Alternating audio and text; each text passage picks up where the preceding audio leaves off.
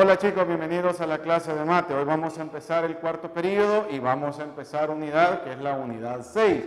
¿Cuál es la unidad 6? Vamos a empezar las identidades y ecuaciones trigonométricas.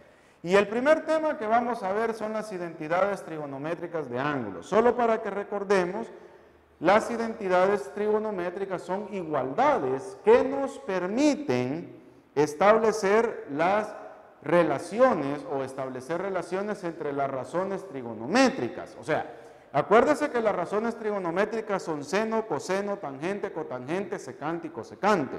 Las identidades trigonométricas son las relaciones que se establecen entre ellas y son igualdades. Por ejemplo, seno cuadrado del ángulo más coseno cuadrado del ángulo igual a 1 es una identidad trigonométrica.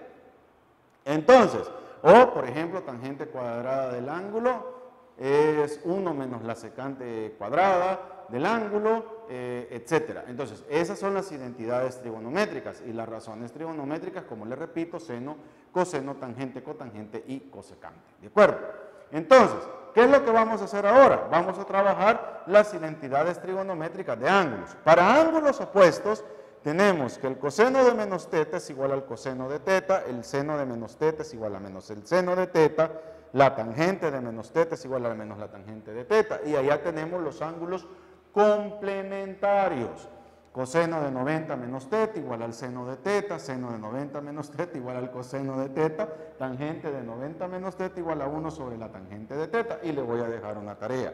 En la página 214, que es donde empezamos el tema y la unidad y el periodo, hay una tabla donde están las identidades de ángulos suplementarios. Esa tabla cópiela en el cuaderno que se la voy a pedir tanto a los que vengan de manera presencial como a los de manera virtual. Póngale pausa que esto es todo lo que vamos a, ocupar. O sea, esto es todo lo que vamos a trabajar ahorita en este tema. Póngale pausa al video y lo copie. Amén. De la tabla de los ángulos suplementarios. ¿De acuerdo? Va, póngale pausa y copie. Ahora, ¿cómo lo vamos a trabajar? O sea, vamos a seguir siempre dentro de las identidades trigonométricas, ¿verdad? Entonces, ¿cómo lo vamos a trabajar? Veamos. Nos dicen, por ejemplo, mire, número uno, ¿ya? Representemos coseno de 200 grados en términos de un ángulo teta que esté entre, seno, entre 0 y 90 grados. Ah, ok. Entonces, como es 200 grados, 200 grados yo lo puedo representar como 180 grados más 20 grados. Y esto es verdad, 180 más 20, 200. ¿De acuerdo? Y dan los, los 200 grados que me dan.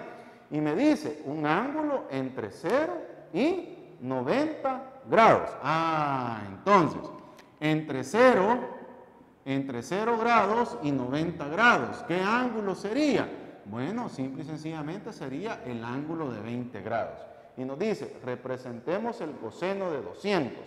Entonces, sería coseno de teta más 180 grados, ya vamos a ocupar los ángulos suplementarios.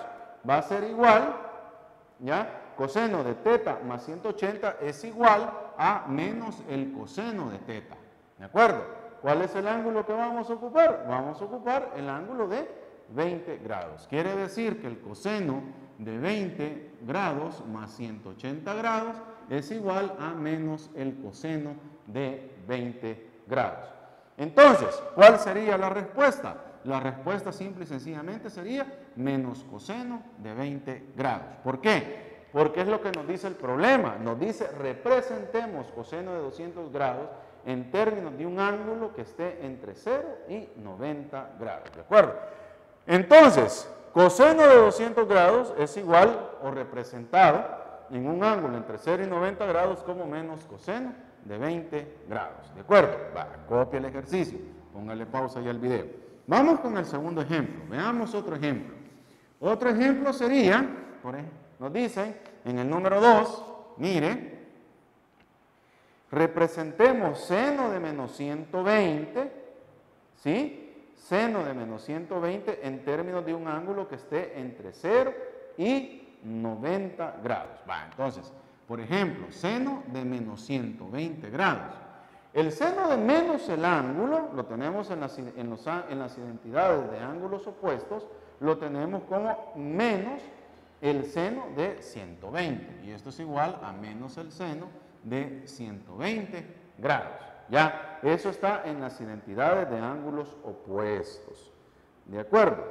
Entonces, igual vamos aquí, vamos a ocupar ángulos complementarios. ¿Por qué? Porque 120 grados, un ángulo entre 0 y 90 grados.